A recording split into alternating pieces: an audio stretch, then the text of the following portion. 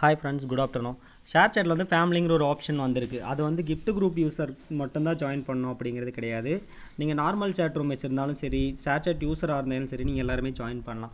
அது எப்படி ஜாயின் பண்ணணும் அப்படின்னா ஒன்று உங்களுக்கு நீங்கள் ஏதாவது ஒரு சேட் ரூம் க்ரியேட் பண்ணியிருக்கணும் இல்லைனா உங்கள் ஃப்ரெண்ட்ஸ் யாராவது ஒரு குரூப்புக்குள்ளே போயிட்டு அதாவது இந்த ஷேர் சேட் அப்டேட் பண்ணியிருக்கீங்களான்னு பாருங்கள் ப்ளே ஸ்டோரில் போயிட்டு ஷேர் சேட் அப்டேட் கேட்குதான்னு பாருங்கள் அப்டேட் கொடுத்துட்டு அப்புறம் ஏதாவது ஒரு குரூப் குரூப்புக்குள்ளே போங்க. கிஃப்ட் குரூப்போ நார்மல் குரூப்போ எதுக்குள்ளே வேணாலும் போகலாம் அப்படி போனதுக்கப்புறம் பார்த்தீங்கன்னா ரைட் சைடில் த்ரீ டாட் இருக்கும். அதை டச் பண்ணிங்கன்னா இங்கே ஃபேமிலின்னு ஒரு ஆப்ஷன் கொடுத்துருப்பாங்க.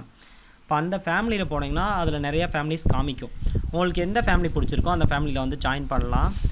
நம்மளது வந்து ரெயின்போ ஃபேமிலி இப்போ நம்ம ரெயின்போ ஏஜென்சியில் இருக்கிறவங்க எல்லாருமே ரெயின்போ ஃபேமிலியில் வந்து ஜாயின் பண்ணுங்கள் சைடில் வந்து ஜாயின் ஒரு பட்டன் இருக்கும். இப்போ அந்த பட்டனை கொடுத்தோம் அப்படின்னாலே நமக்கு வந்துட்டு பார்த்தீங்கன்னா ஓப்பன் ஆகுது.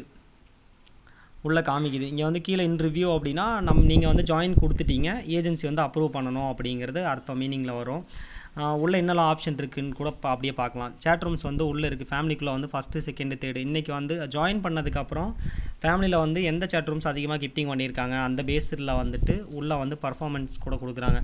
ஃபஸ்ட்டு இப்போ பார்த்தீங்கன்னா இதுக்குள்ளே நார்மலாக எவ்வளோ சேட் ரூம்ஸ் இருக்குன்னு பார்த்துக்கலாம் நீங்கள் ஜாயின் பண்ணிட்டீங்க அப்படின்னாலே வந்துட்டு நம்மளோட சேட் ரூம்ஸ் எல்லாம் இருக்குது அப்படின்னு பார்த்துக்கலாம் உங்கள் ஃப்ரெண்ட்ஸோட குரூப்லாம் உள்ளே இருக்கான்னு பார்த்துக்கலாம் ஈஸியாக வந்து உள்ள இருக்கிற சேட் ரூம்ஸ் எல்லாம் உங்களுக்கு ஐடென்டிஃபை பண்ணுறதுக்கு ஈஸியாக இருக்கும். பின்ன கீழே பார்த்தீங்கன்னா மெம்பர்ஸ் அதாவது சேட் ரூம் இல்லாதவங்களும் இதில் வந்து ஜாயின் பண்ணலாம். பின்ன ஃபீச்சர்ஸ் பார்த்தீங்கன்னா ஈவெண்ட் இருக்குது ஃபேமிலிக்குள்ளே போய் பார்த்தா இப்போ லைவ்னா பேட்டில் போயிட்டுருக்கு. எந்தெந்த குரூப்புக்கெல்லாம் பேட்டில் போயிட்டுருக்கு அப்படிங்கிற பார்த்தா ஃபேமிலிக்குள்ளே ஜாயின் பண்ண அட்மின்ஸ்க்கு மட்டும்தான் இதுக்கு அட்மின் இப்போ நீங்கள் ஒரு கிஃப்ட் குரூப் வச்சுருக்கீங்க நீங்கள் வந்து இதில் ஜாயின் பண்ணியிருந்தீங்க அப்படின்னா உங்களோட குரூப்புக்கு வேறு குரூப்புக்கு பேட்டில் போட்டால் இதில் காமிக்கும். அப்போ அப்கமிங் மிங் ஈவெண்ட்ஸ் அப்படிங்கிறது இன்னும் அப்டேட் ஆகலை அது ஷேர் சேட்லேருந்து வரும்னு நினைக்கிறோம். அதாவது பாஸ்ட் ஈவெண்ட்ஸ்னால் நம்ம பேட்டில் போட்டுப்போம் பார்த்தீங்களா வின் பண்ணோமா இல்லை லாஸ்ட் ஆகிட்டோமா அப்படிங்கிறது கூட க்ளியராக காமிக்குது.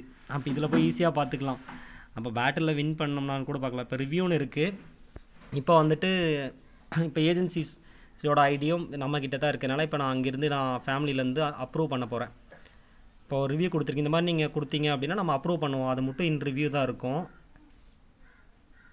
இப்போ பார்த்தீங்கன்னா அங்கேருந்து அப்ரூவ் பண்ணியாச்சு. அப்ரூவ் பண்ணதுக்கப்புறம் நமக்கு ஏதாவது என்னென்ன ஆப்ஷன் வருஷம் பேக் அடிச்சுட்டு ரிஃப்ரெஷ் கொடுப்போம்.